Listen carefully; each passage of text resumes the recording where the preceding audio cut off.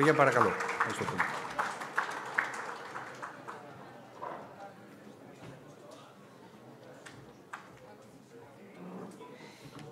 Ανεβαίνω στο βήμα και διαβάζω τα απειλητικά μηνύματα. Παρακαλούμε για τη διαχείριση του χρόνου. Θα την κάνω την προσπάθεια.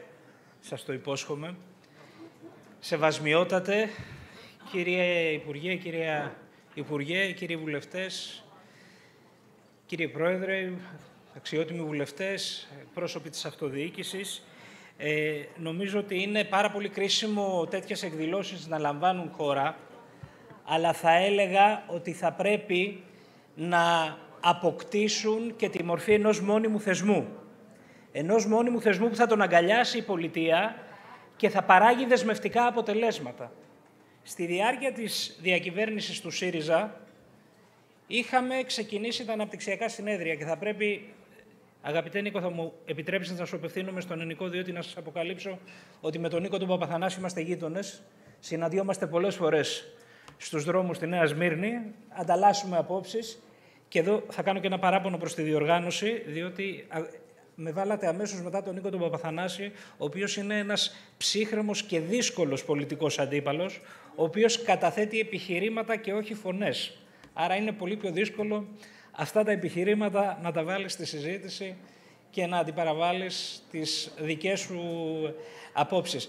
Σε κάθε περίπτωση όμως, και νομίζω ότι θα πρέπει να κρατήσουμε όλοι, επειδή είναι και πολυπληθές εδώ το ακροατήριο και οι συμμετοχές, την ουσία της τοποθέτησης του Σεβασμιότατου και θεωρώ ότι η περιοχή είναι τυχερή που έχει ένα τόσο φωτισμένο άνθρωπο στην ηγεσία της Εκκλησίας, διότι έκανε μία τοποθέτηση η οποία έδειξε στον κορμό της ότι το μείζον ζητούμενο είναι να αποκαταστήσουμε τη σχέση μας με τον εαυτό μας, με τον συνάνθρωπο και με τη φύση. Και αυτό πρέπει να είναι το μείζον ζητούμενο και της πολιτικής.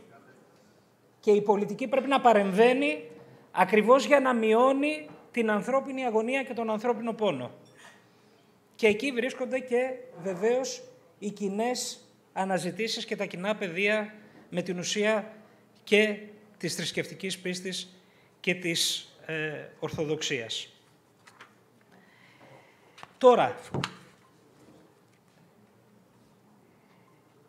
η δική μας διακυβέρνηση συγκρότησε ένα σχέδιο ανάπτυξης και όπως πολύ σωστά είπε ο φίλος μου ο Νίκος ο Παπαθανάσης, αυτό αντικαταστάθηκε από το σχέδιο Πισαρίδη. Το σχέδιο Ψαρίδη, κατά τη δική μας άποψη, είναι θεμελιακά λάθος. Να σας διαβάσω δύο αποσπάσματα. Το βασικό πρόβλημα, λέει, με τις τράπεζες στην Ελλάδα και πηγή πολλών άλλων δυσχεριών, δυσκολία προς το δανεισμό νέων επιχειρήσεων, είναι ο δανεισμός σε επιχειρήσεις ζόμπι, που προκύπτει από τα προβληματικά δάνεια. Και παρακάτω, λέει, ότι θα πρέπει να καθιερωθεί για τις τράπεζες ένα σύστημα μπόνους μάλους από την κυβέρνηση και τον SSM για αποκλήσεις από τους στόχους και διατήρηση επιχειρήσεων ζόμπι στο χαρτοφυλάκιό τους. Να σας θυμίσω μία δήλωση του Γιάννη Στουρνάρα, διοικητή της Τράπεζας της Ελλάδος, ο οποίος είπε ότι μόνο το 3% των ελληνικών επιχειρήσεων μπορούν να έχουν πρόσβαση στον τραπεζικό δανεισμό. Αυτό είναι θεμελιακό πρόβλημα της ελληνικής οικονομίας, ξέρετε. Δεν είναι ούτε κόκκινο, ούτε πράσινο, ούτε μπλε, ούτε κίτρινο είναι θεμελιακό πρόβλημα και δεν θα έπρεπε η δημόσια πολιτική αυτό να το προσπερνά. Δεν θα έπρεπε η δημόσια πολιτική να θεωρεί ότι αυτό είναι πρόβλημα απλώς της ελληνικής επιχειρηματικότητας. Τι έγινε ξαφνικά στην Ελλάδα, γίναν όλοι κακοπληρωτές και δεν μπορούν να περάσουν έξω από τις τράπεζες; Όχι. Η Ελλάδα βίωσε μία πολύχρονη κρίση και η ελληνική επιχειρηματικότητα επομίστηκε βάρη δυσβάστακτα. Και αυτό είναι μείζον πρόβλημα της ελληνικής οικονομίας. Άρα θεωρώ, ε, σε αντίθεση με την έκθεση Ψαρίδη, ότι πρέπει να σταματήσουμε να βλέπουμε τον κόσμο ανάποδα. Έχουμε αυτά τα θεμελιακά προβλήματα. Είναι προβλήματα τα οποία θα μπορούσε κανείς να τα χαρακτηρίσει ως οι ελέφαντες στο δωμάτιο και δεν μπορούμε να τα προσπερνάμε. Δεν πρέπει να τα προσπερνάμε, πόσο μάλλον, πόσο μάλλον που μετά την κρίση του κορονοϊού και την ενεργειακή κρίση, τα βάρη στις ελληνικές επιχειρήσεις πολλαπλασιάζονται.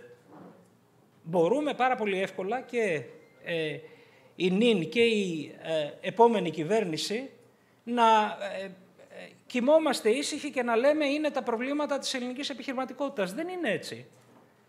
Πρέπει να αναζητήσουμε λύσεις.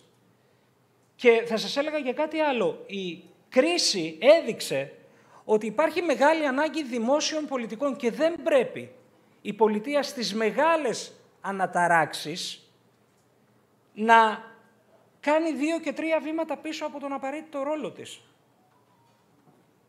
Και ο απαραίτητος ρόλος της είναι να οργανώνει την προσπάθεια ανάκαμψης της οικονομίας.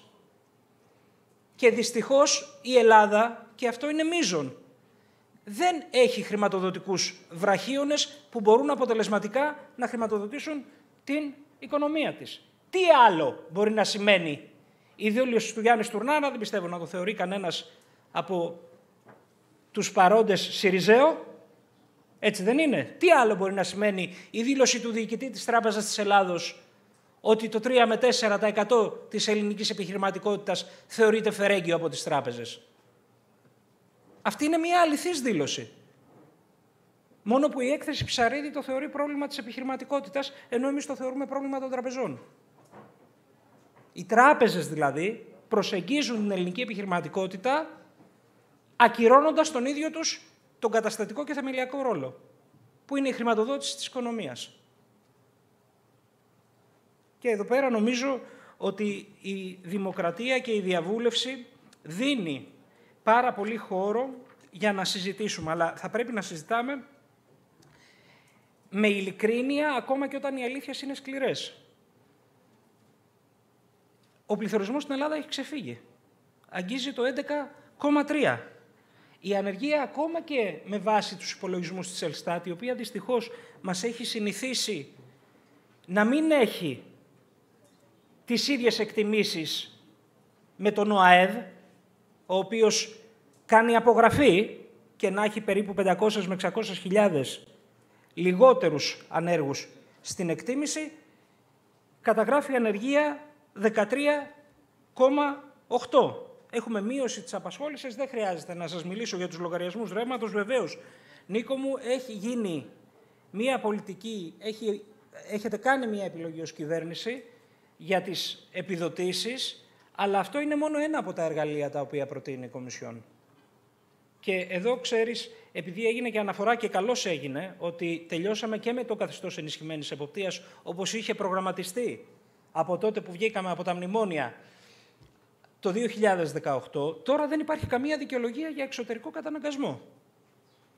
Έχει τελειώσει λοιπόν και η ενισχυμένη εποπτεία και εμείς θα θέλαμε, διότι βεβαίως έχει συσσωρευτεί ένας μεγάλος όγκος χρέους, αλλά θα θέλαμε να δούμε την Ελλάδα στην πρώτη γραμμή της συζήτησης στην Ευρώπη για το πώς θα εφαρμοστούν οι δημοσιονομικοί κανόνες. Να σας πω ένα παράδειγμα. Υπήρχε κατατεθειμένη πρόταση του Ευρωπαϊκού Δημοσιονομικού Συμβολίου, η οποία πρόταση αντιστρέφει το βέλος και κατά τη γνώμη μου βάζει επιτέλους το άλογο μπροστά από το κάρο.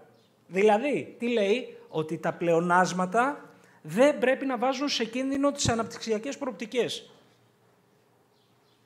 Μπορεί η Ελλάδα να πάει με πλεονάσματα του 4% για τα επόμενα χρόνια; Είναι αυτοί στόχοι οι οποίοι είναι συμβατοί με μια οικονομική πραγματικότητα μεγάλων δυσκολιών και συσσόρευσης χρεών στον ιδιωτικό τομέα; Μήπως τελικά θα έπρεπε η Ελλάδα μαζί με άλλες προοδευτικές κυβερνήσεις στην Ευρώπη να διεκδικήσει να ανοίξει αυτή η συζήτηση. Μήπως πρέπει να μπούμε στην αιχμή του δόρατος σε διεθνές επίπεδο για να αλλάξει αυτή η βασική προτεραιότητα; Η τωρινή προτεραιότητα, λέει, η αρχή είναι το χρέος. Έχετε μεγάλο χρέος, θα το τυθασεύσετε, θα το μειώσετε και οι αναπτυξιακές προοπτικές έπονται ως προτεραιότητα. Η άλλη πρόταση λέει, βεβαίως υπάρχει το χρέος, θα βρούμε μία λύση να το εξυπηρετούμε, αλλά όχι εις βάρος της αναπτυξιακής προοπτικής, διότι τότε υπονομεύουμε και την προοπτική εξυπηρέτησής του.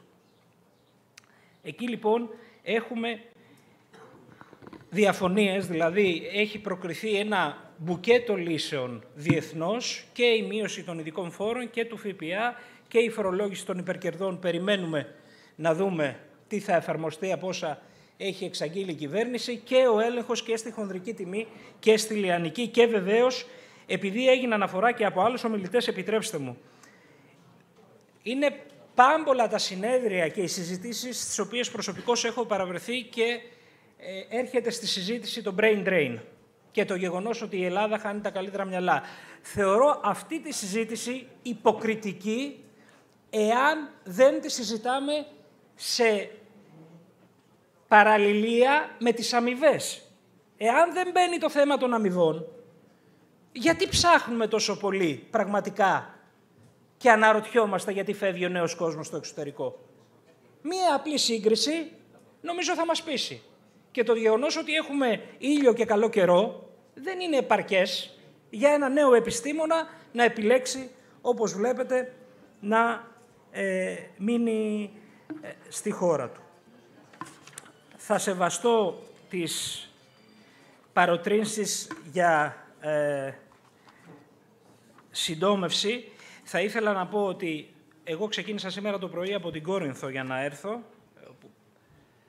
Έχω το εξοχικό μου, ήρθα πάρα πολύ γρήγορα, διότι έχει ολοκληρωθεί και η Κορίνθο Πατρών και η Ιόνια Οδός, επί διακυβέρνηση ε, ΣΥΡΙΖΑ. Έχει έρθει πιο κοντά δηλαδή αυτός ο τόπος στο κέντρο και αυτό είναι πάρα πολύ σημαντικό.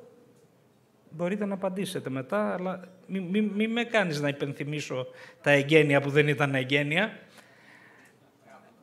Επιτρέψτε μου, απλά για να μην νομίζετε ότι συναντιόμαστε στους διαδρόμους της Βουλής και έχουμε μονίμως αντεκλήσεις. Ε, το κλίμα είναι ανθρώπινο, ακόμα και όταν οι πολιτικές στιγμές είναι δύσκολες αλλά οφείλουμε και δημοσίως να είμαστε ειλικρινείς για τις μεγάλες διαφωνίες τις οποίες έχουμε για την κατεύθυνση την οποία παίρνει η χώρα. Άρα, ο τομέας των υποδομών είναι πάρα πολύ κρίσιμος. Αυτά τα έργα έχουν φέρει την περιοχή πολύ πιο κοντά ε, στα μεγάλα κέντρα και νομίζω ότι με την ε, ολοκλήρωση της Πατρών Πύργου, η οποία αδικαιολογήτως κατά τη γνώμη μας έχει καθυστερήσει έτη περαιτέρω, η Δυτική Ελλάδα μπορεί να ε, αναπτύξει και όλες τις αυτόνομες δυνατότητές της για την ε, ανάπτυξη.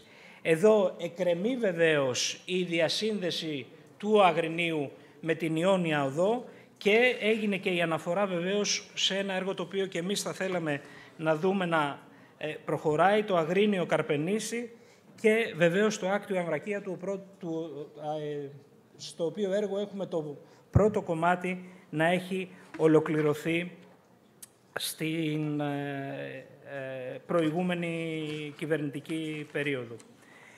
Η περιοχή, κατά τη γνώμη μας, έχει έναν ε, εξαιρετικά κρίσιμο, έχει μια εξαιρετικά κρίσιμη θέση στο χάρτη.